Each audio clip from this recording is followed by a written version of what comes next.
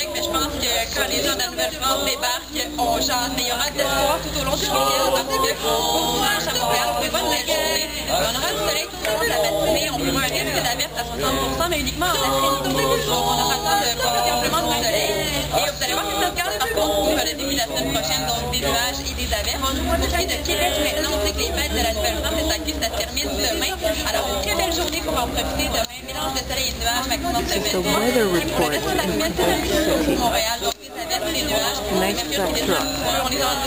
Louis XIV and lots of volunteers that are directing the city.